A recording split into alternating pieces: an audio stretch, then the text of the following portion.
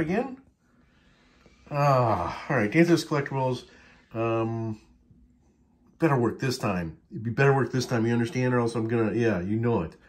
All right, so this weekly coin find, this week coin acquisition, remember trying to finalize that um, that Peace Dollar set, slab set, 1925 PCGS Mint State 65 um, Peace Dollar.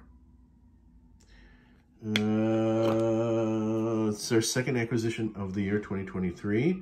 I had this all set up and it would go, you know, in the stand and everything and all that. Um, so you can see good. But for some reason, the camera's working against me. The camera's working against me today.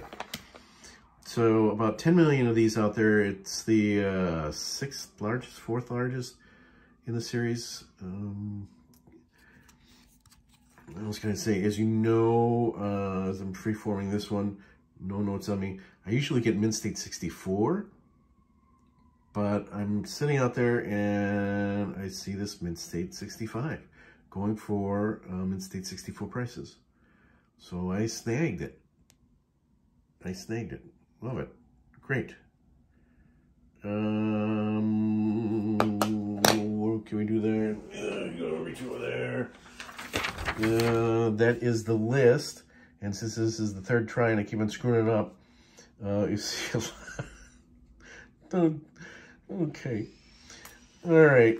You all were in your 20s at one time, weren't you? Oh, man. Uh, so there it is. I screwed up again and redid it again. So all we have left, 22S, 23D, 23S, 26D, 27D, 34D. And these two, um, heck of a time finding them. They don't seem to be out there right now, uh, but I'm looking. So if you see any out there uh, in the Mint State 64 range, let me know. I, I, know they'll show up. They're just hiding on me. And as you know, at Dancer's Collectibles, uh, hopefully I have the coins in the right direction now, right orientation.